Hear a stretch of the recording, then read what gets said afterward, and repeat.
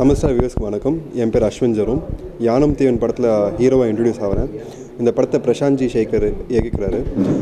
இது ஒரு suspense action thriller இதில் ராஜசுந்தர மாஸ்டர் வில்லனாக பண்ணியிருக்காரு Ponvannan sir VTV Ganesh sir Madhumitha Arunraja Kamaraja இவங்க எல்லாம் படத்தில் பண்ணியிருக்காங்க அச்சு ராஜாமணி இந்த படத்துக்கு மியூசிக் போட்டுருக்காரு பிரஸ்னா ஜிக்கு எடிட் பண்ணியிருக்காரு ஸ்ரேயாஸ் கிருஷ்ணா கேமரா பண்ணியிருக்காரு விமல் ராம மாஸ்டர் ஸ்டன் பண்ணியிருக்காரு ஸோ இது ஒரு க்ளோஸ் ரியாலிட்டியான ஒரு பேஸ்டான ஒரு சப்ஜெக்ட் ஸோ இதில் ஒரு மூணு ஜானர்ஸ் கவர் ஆகுது.